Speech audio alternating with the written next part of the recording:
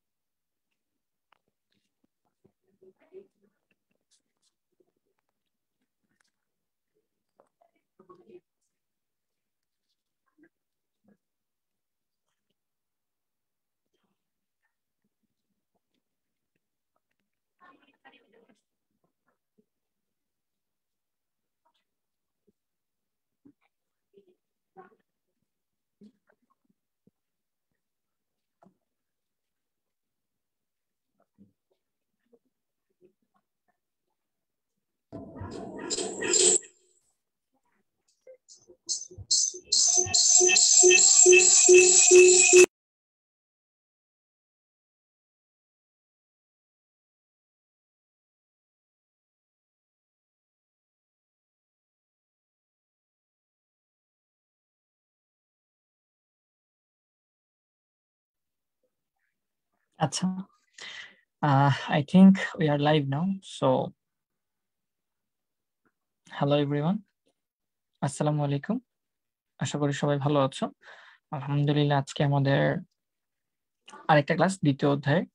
আজকের ক্লাসে আমরা দেখার চেষ্টা করব যে গত ক্লাসে যা দেখতে পারিনি যে ক্লাসিফিকেশন ছিল আমাদের নেটওয়ার্কের classification public network private network তারপর আমাদের ছিল হচ্ছে centralised network distributed network LAN MAN PAN, one তারপর ল্যানেরও কিছু ভ্যারিয়েশনস ভ্যারিয়েশনগুলো দেখার চেষ্টা করব এবং সাথে সাথে আমরা আজকে একটা ইম্পর্টেন্ট টপিকও পড়ব। তা হচ্ছে মানে একটা ইন্টারেস্টিং টপিক তা হচ্ছে বিটকয়েন কীভাবে কাজ করে বা ক্রিপ্টোকারেন্সি কীভাবে কাজ করে। যেটা দিয়ে এখন ক্রিপ্টোকারেন্সি বা বিটকয়েন এখন হচ্ছে অন্যতম একটা বাজওয়ার্ড হ্যাঁ? এখনকার কারেন্ট সিনারিওতে বা কারেন্ট সিচুয়েশন সো আমরা তো আমরা সেটা দেখার চেষ্টা করব। যারা জয়েন করছ, জয়েন করে ফেলো। জয়েন করো অপেক্ষা করো।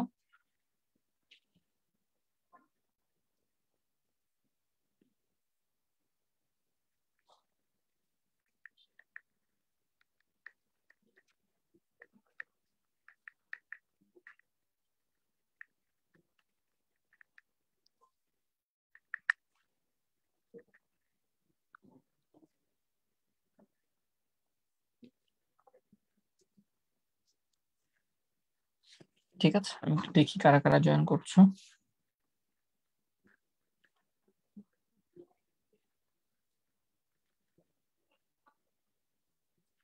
হ্যাঁ আমি তো আছি, আমি তো আছি। আমি আছি, তোমরা আছো কিনা দেখে নি চলে আসছো তোমরা। যাদের আসার কথা, তারা এসে গেছো, আর যারা এখন আসো তারা আসবা হয়তো। অপেক্ষা করি। আহ তারপর শুরু করছি। বরাবরের মতো শ্রেয়া আছে, ছবি আছে আমাদের সাথে, মারুয়া আছে, সিয়াম আছে, নিপা আছে, রাহুল আছে আর শিমলা আছে।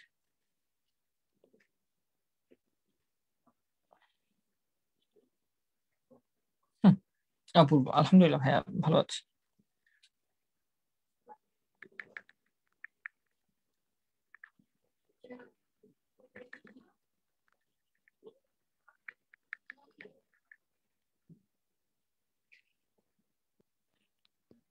ওকে আই থিঙ্ক আমরা শুরু করে দিতে পারি আজকে আলোচনা। দেরি করা উচিত না। অলরেডি লেট হয়ে গেছে।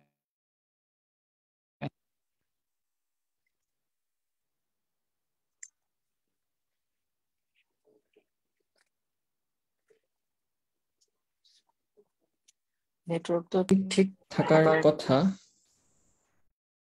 দেখি স্ক্রিনটা শেয়ার করি দেখি তারপর কি হয়।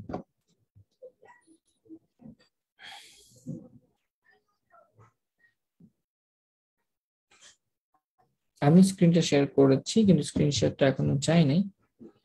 দেখি তোমাদের এখানে যাক।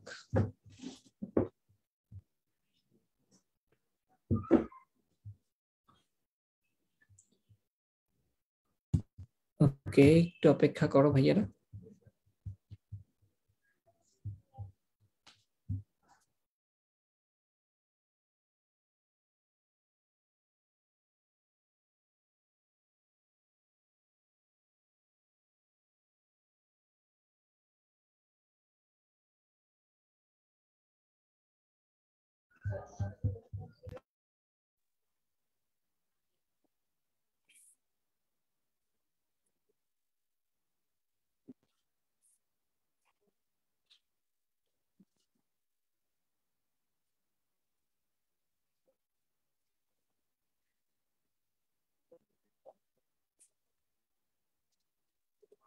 তোমরা কি আমার স্ক্রিনকে দেখতে পাচ্ছ? যদি আমার স্ক্রিনকে দেখতে পাও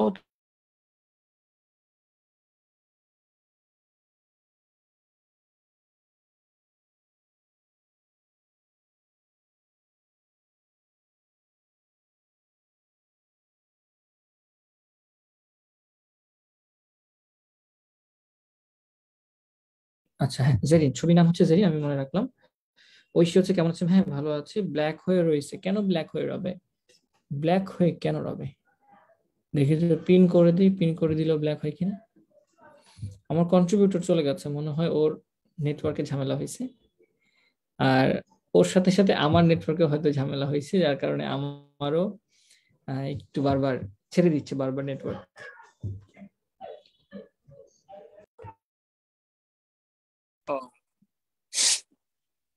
শুনতে পাচ্ছ এবার।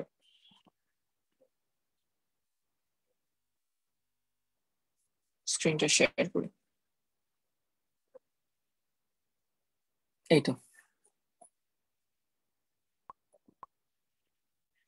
এখন চলে আসার কথা।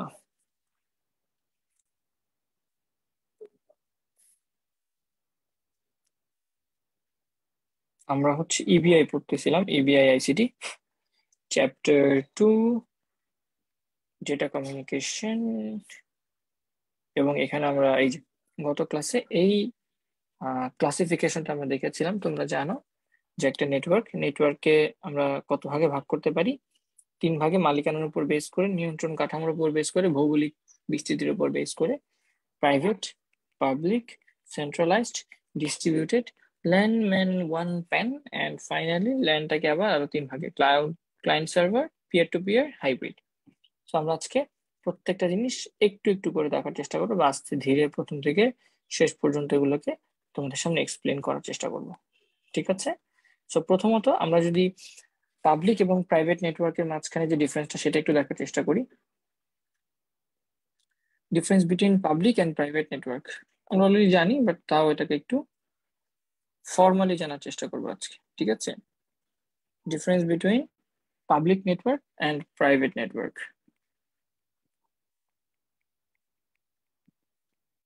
so প্রথম পাবলিক নেটওয়ার্কটার মধ্যে কি থাকতে পারে আমাদের?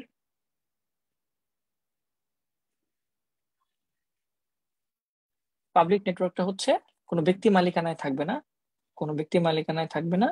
এটা হচ্ছে আমাদের সরকারি হ্যাঁ বা যেটা সবার জন্য ওপেন কোনো একজন মালিকানায় থাকবে না হ্যাঁ বা ওপেন ফর অল হ্যাঁ ওপেন ফর অল এরকম একটা কনসেপ্টের উপর বেস করে তৈরি করা হয়েছে। সেটা হচ্ছে পাবলিক নেটওয়ার্ক আমরা বলতে পারি। অ্যান্ড প্রাইভেট নেটওয়ার্ক হচ্ছে পার্সোনাল হ্যাঁ? পার্সোনাল নেটওয়ার্ক কোনো একজনের নেটওয়ার্ককে আমরা পার্সোনাল বা প্রাইভেট নেটওয়ার্ক বলতে পারি। তারপর এই নেটওয়ার্ক ওপেন ফর অল যেটা বলছি, যে কেউ ব্যবহার করতে পারে, যে কেউ ব্যবহার করতে পারে না। Any one can use R private network anyone cannot use হ্যাঁ? যে কেউ ইউজ করতে পারবে না প্রাইভেট নেটওয়ার্ক প্রাইভেট নেটওয়ার্ক শুধু যার মালিকানা আছে, সেই ব্যবহার করতে পারবে। তারপর অবশ্যই আমাদের পাবলিক নেটওয়ার্ক হচ্ছে কম নিরাপদ। সিকিউর মানে লেস সিকিউরড ইংলিশেও লিখতে পারতাম, বাংলা ইংলিশ মিলিয়ে লিখি আর কি। আর এটা হচ্ছে বেশি নিরাপদ হ্যাঁ? বুঝতে পারতেছো? প্রাইভেট নেটওয়ার্কে যেহেতু কারও কোনো অ্যাক্সেস নাই, শুধু যে মালিকানা আছে বা যারা মালিক আছে তারাই ব্যবহার করতে পারে অবভিয়াসলি এখানে সিকিউরিটিটা অনেক বেশি থাকবে। তারপর বলতে পারো পাবলিক নেটওয়ার্কটা স্পিডটা কম থাকে বা ট্রাফিক অনেক বেশি থাকে বলা হবে হ্যাঁ? এটা আসলে ট্রাফিক বলতে তুমি আসলে ডেটা ট্রান্সমিশন স্পিডটাকে বললেই হবে হ্যাঁ? ডেটা ট্রান্সমিশন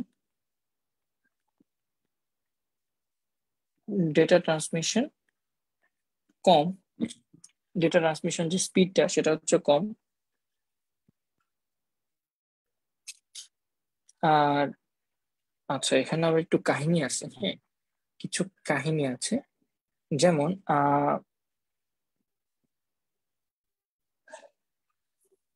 ডেটা ট্রান্সমিশন স্পিডের ক্ষেত্রে পাবলিক নেটওয়ার্কের আচ্ছা তোমাদের এখানে দুইটা কথা বলা আছে। আমি দুইটা কথা মধ্যে একটু এক্সপ্লেন করে নিই, দাঁড়াও। এখানে বলা হচ্ছে ট্রাফিক কম আর স্পিড বেশি। স্পিড বেশি। আর এখানে বলা হচ্ছে ট্রাফিক বেশি আর স্পিড কম। এই দুটা পয়েন্টকে আমি একটু স্পেশালি বলতে চাচ্ছি, দেখো। প্রথম কথা হচ্ছে, ভাইয়া পাবলিক নেটওয়ার্কগুলো কি কি? পাবলিক নেটওয়ার্কগুলো কি কি হতে পারে? যেমন পাবলিক নেটওয়ার্কের মধ্যে এখানে উদাহরণ দেওয়া হয়েছে, ব্যাংকের এটিএম ব্যাংকের এটিএম হচ্ছে একটা পাবলিক নেটওয়ার্ক কিন্তু এটাকে কিন্তু আমি চাইলে প্রাইভেট নেটওয়ার্কও বলতে পারি, ঠিক না? এটাকে কিন্তু চাইলে আমি প্রাইভেট নেটওয়ার্কও বলতে পারি, কারণ ব্যাংকের যে এটিএমটা অবশ্যই নির্দিষ্ট ব্যাংকের মালিকানাধীন। ব্যাংকের মালিকানাধীন থাকে না? যেমন ডাচ বাংলা ব্যাংকের এটিএম বুথ। ডাচ বাংলা ব্যাংকের এটিএম বুথগুলো তো অবশ্যই ডাচ বাংলা ব্যাংকেরই মালিকানা আছে। তাহলে সেক্ষেত্রে আমি সেটাকে পাবলিক কি বলতে পারব? মত পোষণ করছি হ্যাঁ আমাদের বইয়ের সাথে। তোমাদের বইয়ে এক্সাম্পল হিসেবে দেওয়া আছে যে ব্যাংক এটিএম হচ্ছে একটা পাবলিক নেটওয়ার্ক আর ঢাকা ইউনিভার্সিটি বা বুয়েট হ্যাঁ? ইত্যাদি যেই অর্গানাইজেশন তাদের যে নেটওয়ার্ক হচ্ছে আমার প্রাইভেট নেটওয়ার্ক আমি এখানে একটু দ্বিমত পোষণ করছি বইয়ের সাথে, কারণ বুঝতে পারছ প্রাইভেট হচ্ছে মালিকানা একা মালিক একা বা কোনো প্রতিষ্ঠান মালিক না, যেটা সবার জন্য উন্মুক্ত টাইপের হ্যাঁ? সো আমার কাছে মনে হয় যে অপশনের ক্ষেত্রে এই এক্সাম্পলগুলো একটু ভুল দেয়া আছে। প্রথমত এটা ঠিক আছে ডিইউ বুয়েটের নেটওয়ার্ক যেটা সেটা ঢাকা এবং ইউনিভার্সিটি বা বুয়েট তার নিজস্ব মালিক, তার নিজস্ব নিজেরা ওটাকে ম্যানেজ করে। কিন্তু ব্যাংকের এটিএম বুথ এটাও কিন্তু আসলে পার্সোনাল প্রাইভেট নেটওয়ার্কে হওয়া উচিত রাইট কারণ এটাও তো প্রাইভেট ব্যাংকের নিজস্ব নেটওয়ার্কের আওতায় এটা আছে। ডাচ বাংলা এটিএম বুথ তো আর যমুনা ব্যাংক ওটা কন্ট্রোল করবে না। সো আমার মনে হয় এই অপশনটা একটু ভুল আছে এখানে। আর আরেকটা কথা বলা হয়েছে এখানে যে প্রাইভেট নেটওয়ার্ক স্পিড কম এবং ট্রাফিক বেশি। আমার মনে হচ্ছে এই অপশনটা ভুল হয়েছে। কারণ প্রাইভেট নেটওয়ার্কে যেটা হবে, সেখানে ট্রাফিক কম থাকবে। ট্রাফিক মানে কি? রাস্তাঘাটে ট্রাফিক মানে কি? রাস্তায় ট্রাফিক মানে হচ্ছে তোমার যান, যানবাহন যে চলাচল, যানবাহন চলাচল ট্রাফিক অনেক বেশি। ট্রাফিক অনেক বেশি মানে হচ্ছে বলতে পারো যে সেখানে গাড়ি ঘোড়া অনেক বেশি চলে। ট্রাফিক মানে যে আসলে জ্যাম জ্যাম কিন্তু না। আচ্ছা দাঁড়াও, এটা আমি একটু ক্লিয়ার করি তাহলে, দাঁড়াও এটা একটু বাদ দিই। তোমরা অনেকে মনে হয়, মনে করো এই অপশন গুলাকে যে ট্রাফিক বেশি থাকা মানে কি? ট্রাফিক বেশি থাকা মানে হচ্ছে অনেক জ্যাম থাকা, না। ট্রাফিক বেশি থাকা মানে জ্যাম থাকা না। ট্রাফিক বেশি থাকা মানে হচ্ছে যে আদান প্রদান বা গাড়ি চলাচলের যে রেট আছে, সেটা বেশি। বুঝতে পারছ? এটা নিয়ে তোমরা কনফিউজ হবে না, এই অপশনটা নিয়ে প্রথমত যে পাবলিক নেটওয়ার্কে ট্রাফিক কম মানে কি? মানে তোমার এই গাড়ি চলাচল বা নেটওয়ার্কের আদান প্রদান বা ডেটার আদান প্রদানটা কম, বোঝানো হচ্ছে। আর প্রাইভেট নেটওয়ার্কে ট্রাফিক বেশি মানে বোঝানো হচ্ছে যে জ্যাম না জ্যাম না, এটা ট্রাফিক মানে হচ্ছে চলাচল মানে ডেটার আদান প্রদানটা বেশি। ওকে তো ডেটার আদান প্রদানটা বেশি। আর স্পিড বেশি স্পিড কম। স্পিড বেশি স্পিড কম, এটা নিয়ে আসলে আমি একটু সন্দিহান এই অপশনটা নিয়েও। কারণ পাবলিক নেটওয়ার্কে কখনই স্পিড বেশি পাওয়া প্র্যাকটিক্যালি পাওয়া যায় না। প্র্যাকটিক্যালি বেশি পাওয়া যায় না বাট হয়তো থিওরিটিক্যালি বেশি থাকা সম্ভব। থিওরিটিক্যালি বেশি থাকা সম্ভব। যেমন ধরো একটা পাবলিক কীভাবে চিন্তা করা যেতে পারে? ইন ব্রড সেন্স তুমি আসলে ওই এয়ারপোর্টে কোনো একটা ওয়াইফাই আছে, সেটাকে তুমি পাবলিক নেটওয়ার্ক চিন্তা করতে পারো। যে এয়ারপোর্টে তারা নিজস্ব ওয়াইফাই সার্ভিস দিচ্ছে। যদিও এটা in a sense private network কারণ এয়ারপোর্টে ওই ওয়াইফাইটা এয়ারপোর্টই মালিকানাধীন বাট তাও তুমি সেটাকে পাবলিক বলতে পারো, কারণ এয়ারপোর্টে তো সবার জন্য উন্মুক্ত থাকে সেই ইন্টারনেটটা তাহলে সেক্ষেত্রে সেই ইন্টারনেটের স্পিড প্র্যাকটিক্যালি কিন্তু খুব কম পাওয়া যায়। অনেকে এয়ারপোর্টে বসে ওই ডেটাই মোবাইল ডেটা ইউজ করে বেশি। কিন্তু সেক্ষেত্রে প্র্যাকটিক্যালি দেখতে গেলে যে তুমি যখন পাবলিক ইন্টারনেটগুলো ইউজ করবা ওয়াইফাই রাউটার ওয়াইফাই গুলো ইউজ করবা, তখন দেখবে স্পিড খুব কম। কিন্তু যখন পার্সোনালি ইউজ করা হয়, তখন কিন্তু স্পিড অনেক ভালো পাওয়া যায়। তাহলে প্র্যাকটিক্যালি যদি চিন্তা করা যায়, তাহলে স্পিডটা কম পাবলিকে স্পিড কম আর প্রাইভেট স্পিড বেশি। কিন্তু তুমি যদি থিওরিটিক্যালি চিন্তা করো যে নর্মালি কিন্তু আমাদের মোবাইলে ডেটা কত? হয়তো two Mbps three Mbps speed আমরা পাবো সর্বোচ্চ। কিন্তু ওই এয়ারপোর্টে যখন যে ওয়াইফাই সিগন্যালটা দেওয়া হয়েছে যে নেটওয়ার্কটা দেওয়া হয়েছে, সেটাতে কিন্তু হয়তো আরও একশো এমবিপিএস স্পিড শেয়ার স্পিডটা হয়তো হান্ড্রেড এমবিপিএস কিন্তু সেটা সবার মাঝে বিস্তৃত তো, সবাই টানতেছে, যার কোনো স্পিডটা তুমি পাচ্ছ না। সো এই অপশনটা তোমরা ভুল চিন্তা করতে পারো হ্যাঁ? তাহলে সেক্ষেত্রে এটাকে, এটা থিওরিটিক্যাল কথাটা বলা হয়েছে যে স্পিডটা বেশি পাবলিক নেটওয়ার্কে স্পিডটা বেশি থিওরিটিক্যালি বেশি। যদিও প্র্যাকটিক্যালি আমরা স্পিড বেশি পাই না ফ্রি নেটওয়ার্ক ফ্রি ওয়াইফাই গুলো যেটা ইউজ করি আমরা। আর প্রাইভেটের মধ্যে স্পিডটা কম প্র্যাকটিক্যালি না, এটা আবারও থিওরিটিক্যালি যে থিওরিটিক্যালি আমার প্রাইভেট নেটওয়ার্কে যে স্পিড আছে সেটা কম। এই ট্রাফিক বেশি বা ট্রাফিক কম স্পিড বেশি ট্রাফিক বেশি স্পিড কম।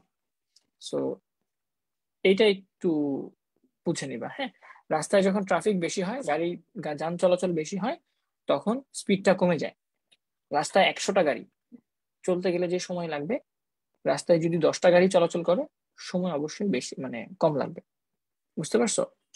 সো ট্রাফিক বেশি হলে স্পিড কমে যাবে, রাস্তায় গাড়ি বেশি হলে স্পিড কমে যাবে গাড়িগুলো স্লো স্লো আগাবে। আর ট্রাফিক যদি কম থাকে, তাহলে আমাদের ডেটা বেশি দ্রুত আগাবে। গাড়ি বেশি দ্রুত আদান প্রদান মানে চলাচল করতে পারবে। সো এই দুইটা অপশন তোমরা কনফিউজ হয়ে যেতে পারো, এই জন্য আর কি একটু এক্সপ্লেন করলাম। আর তাহলে ব্যাংকের ATM booth in a sense এটাকে তুমি প্রাইভেটও বলতে পারো পাবলিকে বলতে পারো।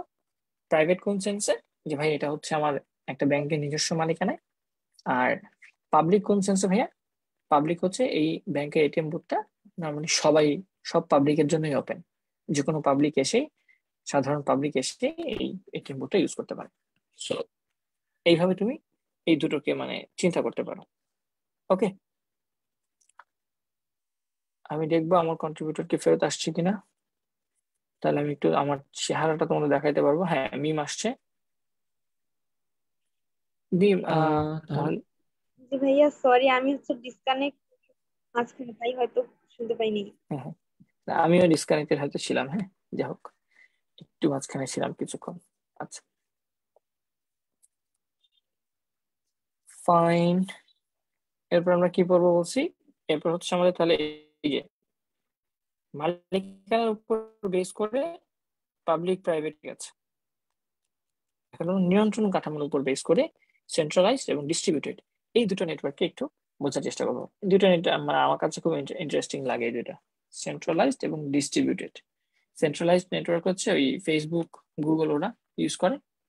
আর ডিস্ট্রিবিউটেড নেটওয়ার্ক হচ্ছে ওই ক্রিপ্টো কারেন্সির জন্য বিটকয়েন মাইনিং এর জন্য ইউজ করা হয়। সো আজকে বিটকয়েন নিয়ে পড়াও।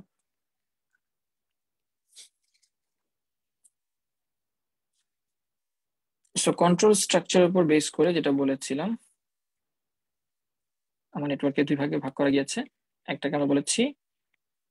সেন্ট্রাল এবং একটাকে বলেছি আমরা ডিস্ট্রিবিউটেড সো আগে সেন্ট্রালটা নিয়ে কথা বলি।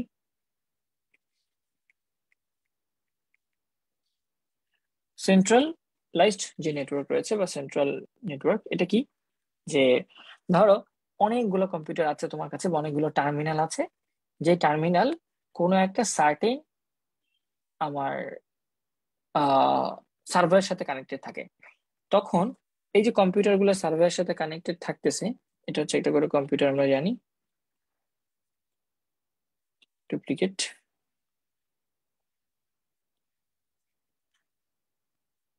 আচ্ছা ধর এটা হচ্ছে আমাদের একটা কম্পিউটার সো এই কম্পিউটারটা অবশ্যই এরকম অনেকগুলো কম্পিউটার আছে। এই কম্পিউটারগুলা প্রত্যেকটা একটা সেন্ট্রাল সার্ভারের সাথে কানেক্টেড প্রত্যেকটা একটা সেন্ট্রাল সার্ভারের সাথে কানেক্টেড একটা সেন্ট্রাল সার্ভারের সাথে কানেক্টেড এটাকে আমি একটু রেড কালার দিয়ে দিব। সেন্ট্রাল সার্ভারের সাথে কানেক্টেড এবং সেই সার্ভার থেকে তারা বিভিন্ন ধরনের সার্ভিস নিয়ে থাকে, ঠিক আছে? সেই সার্ভার থেকে তারা বিভিন্ন ধরনের সার্ভিস নিয়ে থাকে এবং এই সার্ভার থেকে তাদেরকে কন্ট্রোল করা হয়। এই সার্ভার থেকে তাদের সেন্ট্রালি কন্ট্রোল করা হয় এবং এই যে কম্পিউটারগুলো আছে এই কম্পিউটারগুলো হয়তো ডাম হতে পারে অথবা ইন্টেলিজেন্ট হতে পারে। এগুলো হচ্ছে টার্মিনাল হ্যাঁ? এগুলো হচ্ছে টার্মিনাল যেমন ধরো, একটা কম্পিউটারের সাথেই দুইটা কিবোর্ড আর দুইটা মাউস অ্যাড করা। ঠিক আছে? এবং দুইটা মনিটর অ্যাড করা। তাহলে দুইজন মানুষ সাইমালটেনিয়াসলি একই কম্পিউটার ইউজ করছে।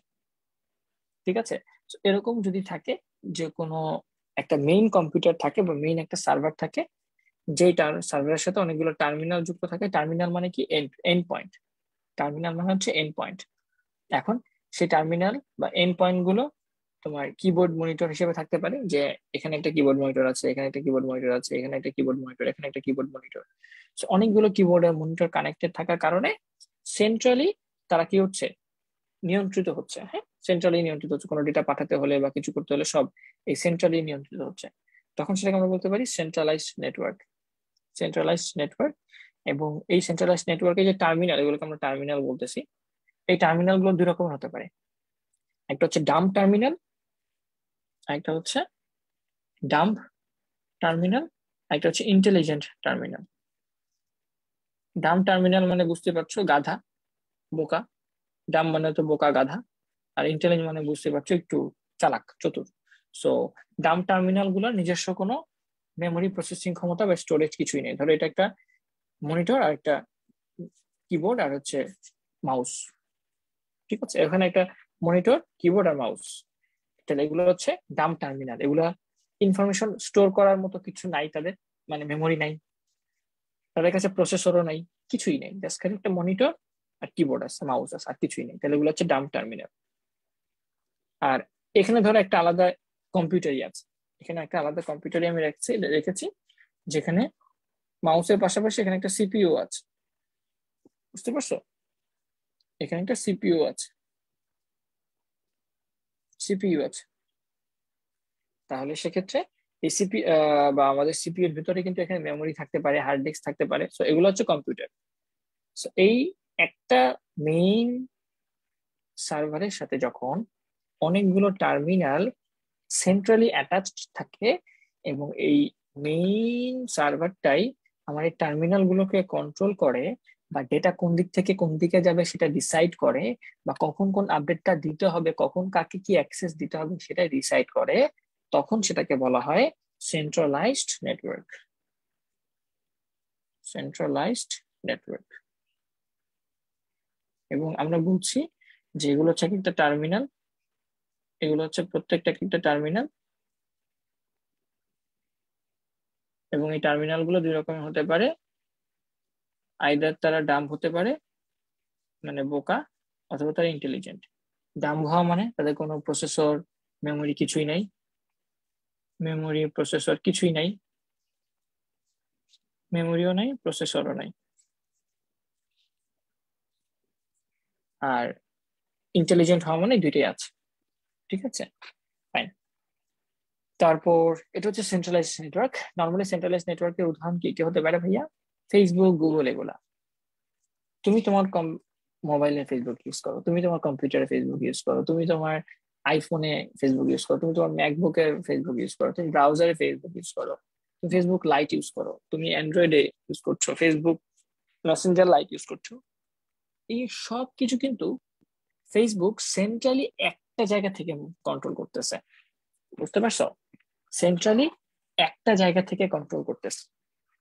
বা এটা এরকমও হতে পারে, তুমি বলতে পারো, ভাইয়া ফেসবুকের ডেটা সেন্টার তো অনেকগুলো আছে। বা, ভাইয়া গুগলের তো অনেকগুলো ডেটা সেন্টার আছে। যেমন ইন্ডিয়াতে একটা ডেটা সেন্টার আছে সিঙ্গাপুরে একটা ডেটা সেন্টার আছে, থাকতে পারে। তারপর এরকম অনেকগুলো ডেটা সেন্টার আছে। তো, ভাইয়া, তাহলে ফেসবুক বা গুগল কীভাবে সেন্ট্রালাইজড হলো? এই কোশ্চেনটা করতে পারো না তোমরা? আবার বলি। আমি বলছি সেন্ট্রালাইজ নেটওয়ার্ক কোনটা? সেন্ট্রালাইজড হচ্ছে একটা মেইন কম্পিউটার থাকে যেটার সাথে প্রত্যেকটা এন্ড কানেক্টেড থাকে। আমাদের মোবাইল কানেক্টেড আমাদের কম্পিউটার কানেক্টেড আমাদের আইফোন কানেক্টেড আমাদের অ্যান্ড্রয়েড ফোন কানেক্টেড এগুলোকে সেন্ট্রালি কন্ট্রোল করা হয়। যেমন এখন আমি বলছি, তারপর আবার বলছি গুগল হচ্ছে একটা সেন্ট্রালাইজ নেটওয়ার্কের উদাহরণ। তুমি বলব, ভাইয়া গুগলের তো ডেটা সেন্টার্স অনেকগুলো আছে। গুগলের তো ভাই অনেকগুলো ডেটা সেন্টার আছে। তাহলে সেক্ষেত্রে গুগল কীভাবে সেন্ট্রালাইজড হয়েছে? আপনি তো গুগল গুগলকে বললেন সেন্ট্রালাইজড কোথায় কোথায় আছে? আচ্ছা সিঙ্গাপুরে থাকার কথা একটা মেবি জাপানে আছে তাইওয়ান সিঙ্গাপুরে যে এখানে সিঙ্গাপুরে একটা আছে। তারপর কোথায় আছে? ইন্ডিয়ায় নাই। ইন্ডিয়ায় নাই ডেটা সেন্টার আবার এখানে অনেকগুলো ডেটা সেন্টার আছে। Finland US Netherland Denmark Belgium এখানে বেশ কয়েকটা ডেটা সেন্টার আছে।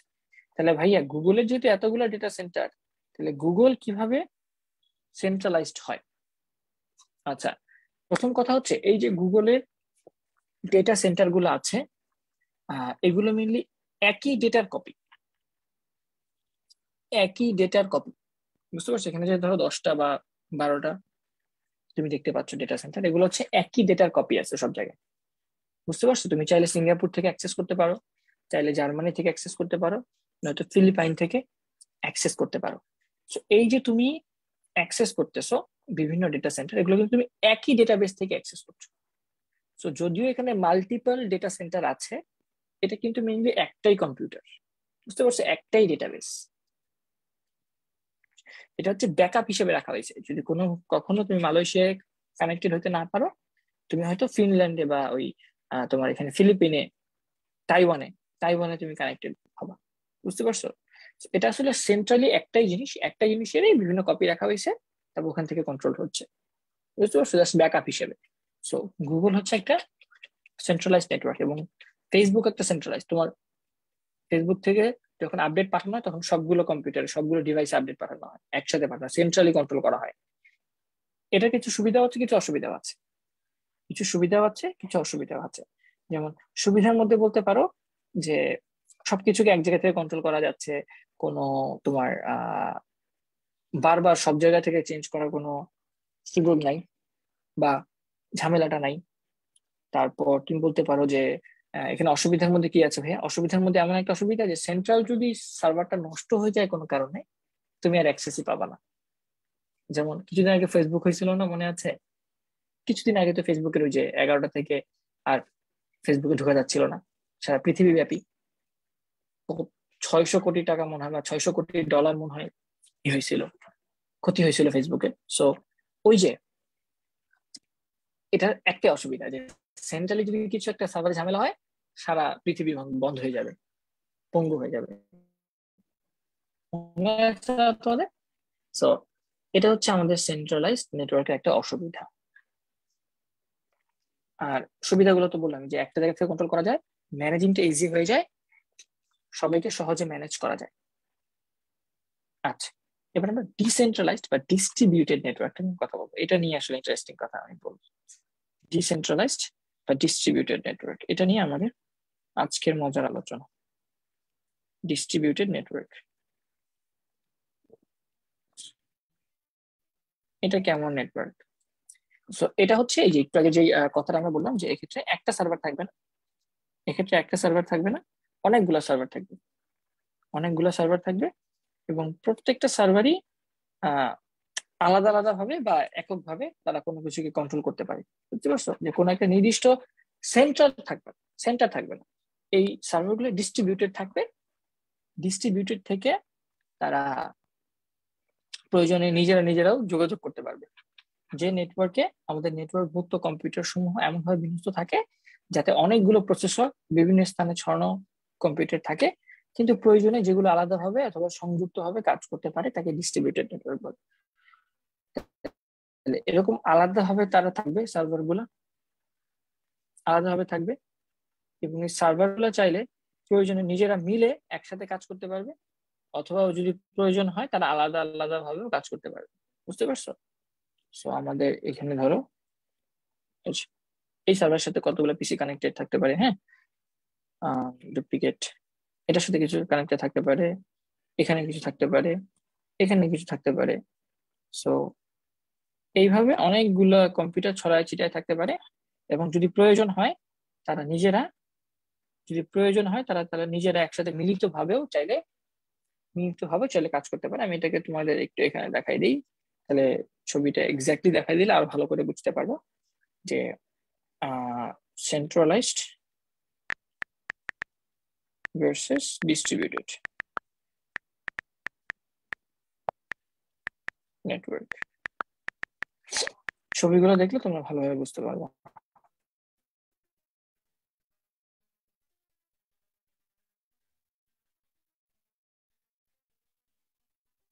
এই দেখো সেন্সরে যে ব্লক চেইনের আসলে কনসেপ্ট এটা।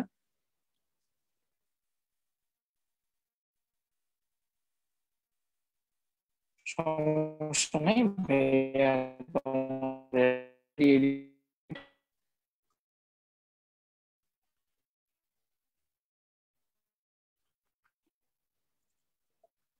আচ্ছা একটা আমার একটা কল আসছে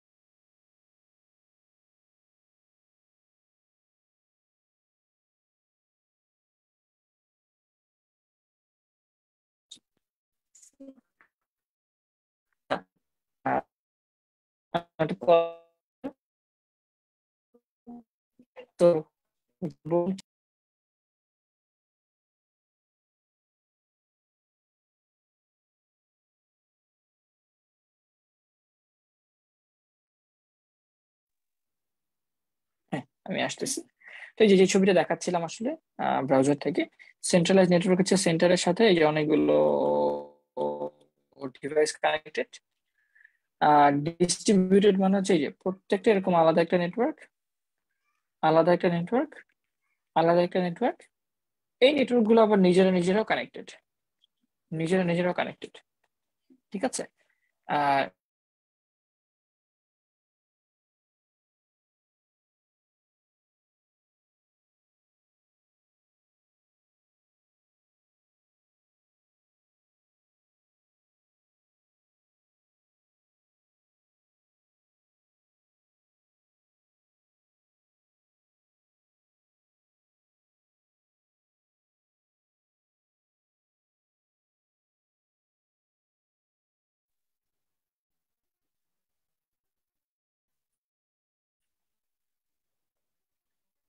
আমার স্ক্রিন বারবার চলে যাচ্ছে কেন জানি। একটু অপেক্ষা করো।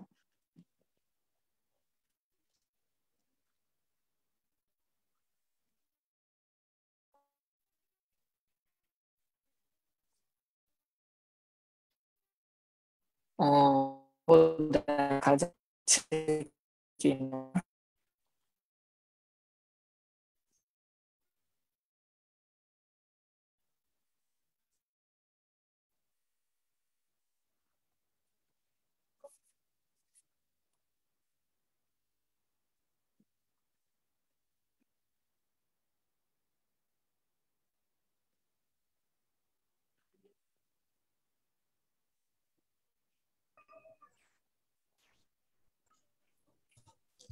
একটু অপেক্ষা করো আমি চেষ্টা করছি চেষ্টা করছি যে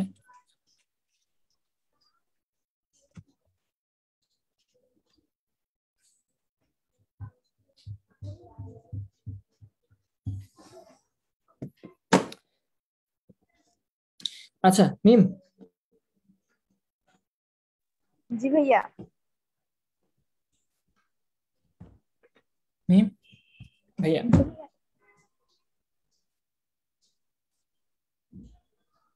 ভাইয়া আমাকে শুনতে পাচ্ছেন না? হ্যাঁ মিম কি আমাকে শুনতে পাচ্ছ? জি ভাইয়া শুনতে পাচ্ছি। জি ভাইয়া শুনতে পাচ্ছি। আচ্ছা আমার হ্যাঁ আমার এখান থেকে একটু বেশি ঝামেলা করতেছে বুঝছ? আমরা আজকের ক্লাসটা এখানে হাফ থাকুক। হাফ থাকুক আমরা হচ্ছে নেক্সট ক্লাসে এই আজকের ক্লাসের হাফ এবং নেক্সট ক্লাসটা নিয়ে একসাথে নিয়ে নিব না হ্যাঁ? ঠিক আছে ভাইয়া। তাহলে ক্লাসটা এন্ড করে দিচ্ছি। হ্যাঁ একটু সবাইকে কাইন্ডলি বলে এন্ড করে দাও যে আমরা ইনশাআল্লাহ নেক্সট ক্লাসে আজকের ক্লাসের বাকি অংশটুকু প্লাস নেক্সট ক্লাসে একসাথে করব যেহেতু আজকে নেটওয়ার্ক একটু বেশি ঝামেলা হচ্ছে। ঠিক আছে ভাইয়া। স্টুডেন্টরা সবাই ভালো থাকো। আসসালামু আলাইকুম। আসসালামু আলাইকুম। তো ভাইয়ার ওখানে ইন্টারনেট বেশি সমস্যা করায় আগামী ক্লাসে আমরা আজকের ক্লাসের বাকি অংশ সহ পরের ক্লাসটি করে নেব। ওকে আসসালামু আলাইকুম